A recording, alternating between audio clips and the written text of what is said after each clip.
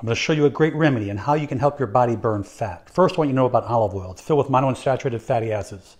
These fatty acids keeps your heart healthy, blood sugar stable. This is what helps assist in your weight loss. It promotes a feeling of satiety. It keeps you full. It will prevent you from binging and overeating on those refined and trans fat sources or those empty calories. And olive oil will promote better mobility of food through the colon and help promote smooth digestion and bowel movement. Remember that a good digestion is a key for weight loss. A poor digestion will hamper metabolism, it will slow it down. And lemons will help promote fullness, support hydration, actually will help boost metabolism, which helps increase weight loss.